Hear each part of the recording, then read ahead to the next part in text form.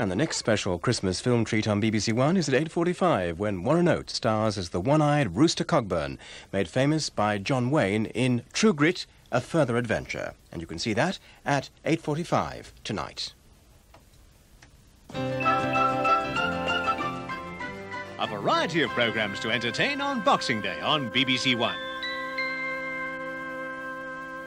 At 7 o'clock in Are You Being Served, it's young Mr. Grace's birthday party.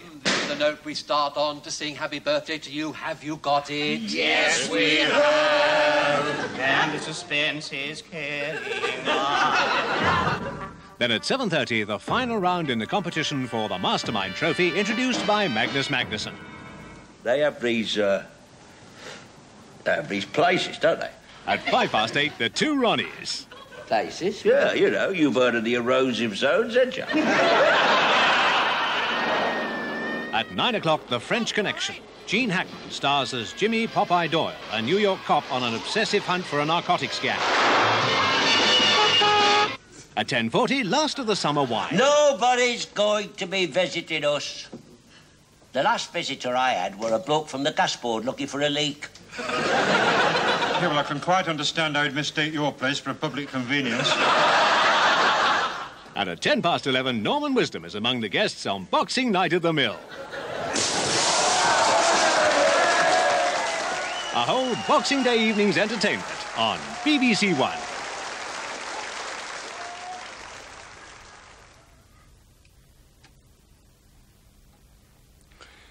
In five minutes, Christmas night entertainment continues with some more misadventures of Frank and Betty Spencer in Some Mothers Do Have 'Em, starring Michael Crawford.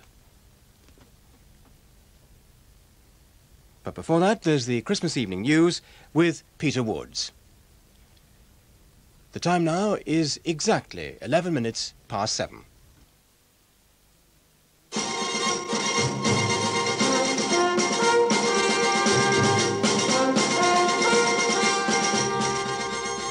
In two rescue operations off the east coast of Scotland, 20 seamen have been saved.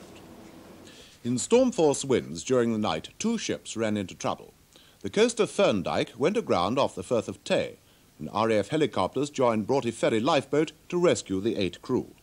Two lifeboatmen who were injured are recovering in hospital, but the freighter's captain had both arms broken. In the other incident, the Swedish cargo vessel Alstern sank east of St. Abb's Head. The 12 crew were eventually picked up and landed at Leith this afternoon by the British cargo ship Lundy Shore.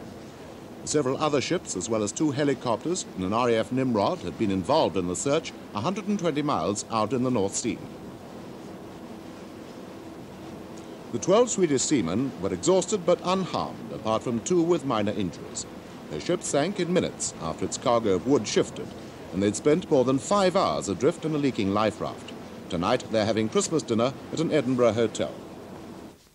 The Queen has taken faith in the future as the theme of her Christmas message and illustrated it with recordings of her father and grandfather and pictures of her grandson. She asked the nation and the Commonwealth not to switch off hope for a better tomorrow. The Queen attended morning service at Windsor, along with the Queen Mother and other members of the royal family. In her Christmas broadcast on radio and television, the Queen stressed how one generation held its experience in trust for the next. And the broadcast ended with pictures of Princess Anne and her son Peter, now 13 months old, joining the Queen in the nursery of Buckingham Palace.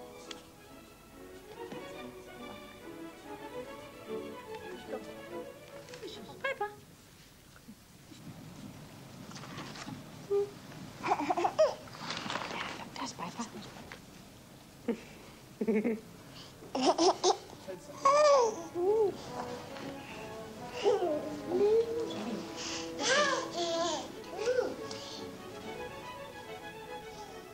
broadcast can be seen again on BBC Two at a quarter past seven. At Canterbury Cathedral, worshippers at the Christmas morning service were led by the Archbishop of Canterbury. In his message, Dr. Coggan said Christians shouldn't so overemphasize the importance of the next world as to despise the joys and ignore the horrors of this life. For Christ, there was no choice, he said. He threw himself into the sorrows of his fellow men. In Rome, Pope John Paul II delivered his blessing.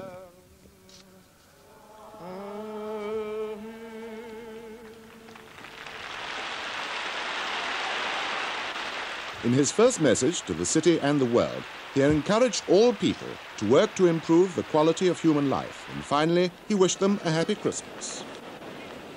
Ancora una volta, buon Natale! Travellers on London's buses and tubes got official free rides today for the first time. London Transport, who are committed to providing a skeleton service over Christmas, say their offer was a seasonal gesture. Hundreds took advantage of the concession, which was available for unlimited travel on selected routes between 9.30 and 3.30.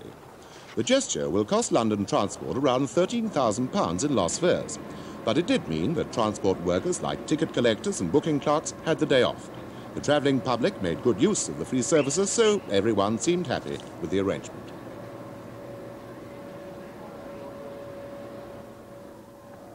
And that's it for now. I hope you enjoy the rest of Christmas evening.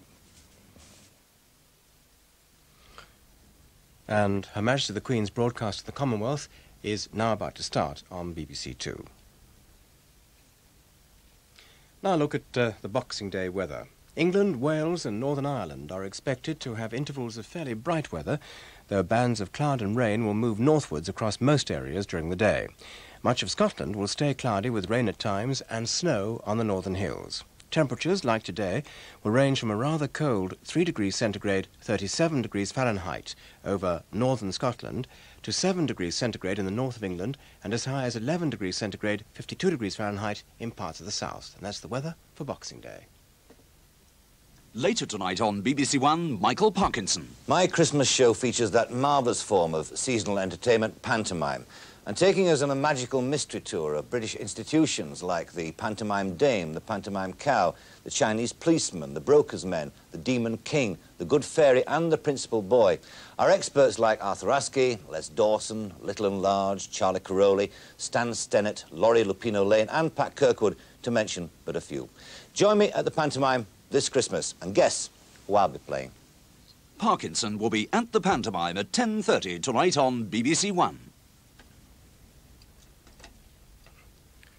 And now our evening feast of entertainment begins. In 45 minutes, the Mike Yarwood Christmas show, but before that, Michael Crawford in Some Mothers Do Have 'Em.